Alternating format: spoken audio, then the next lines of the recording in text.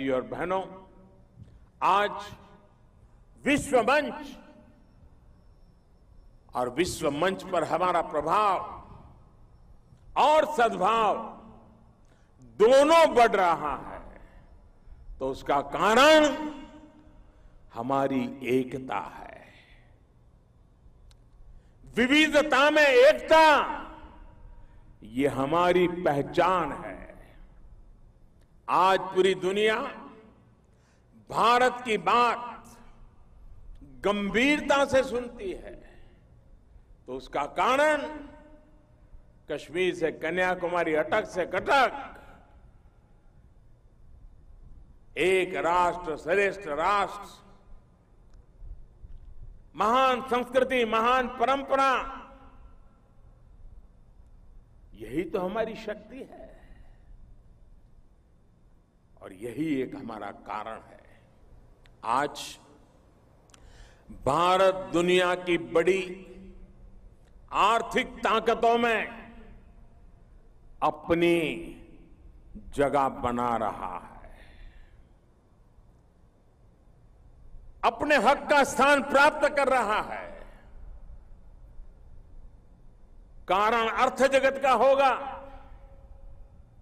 मामला रुपये डॉलर और पाउंड का होगा, लेकिन उसके पीछे की सही ताकत देश की एकता है, देशवासियों के संकल्प है, देशवासियों का पुरुषार्थ है, देशवासियों को कि संकल्प को सिद्ध करने के लिए अथाग अंथक पुरुषार्थ और परिश्रम है।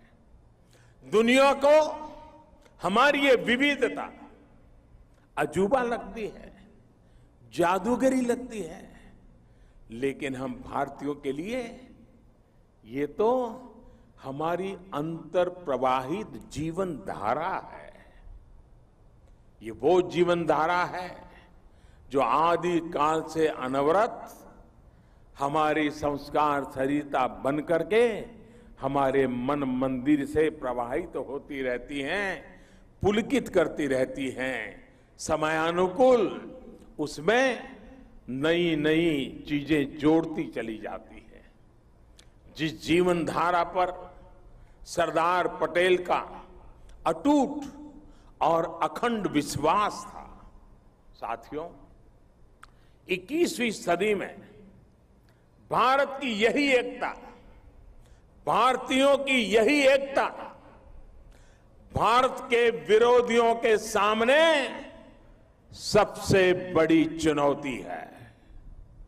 मैं आज राष्ट्रीय एकता दिवस पर प्रत्येक देशवासी को देश के समक्ष मौजूद ये चुनौती याद दिला रहा हूँ। कई आए कई चले गए। बड़े बड़े सपने लेकर के बड़े बड़े मकसद लेकर के आए थे। और फिर भी बात तो यही निकली, कुछ बात है कि हस्ती मिटती नहीं हमारी।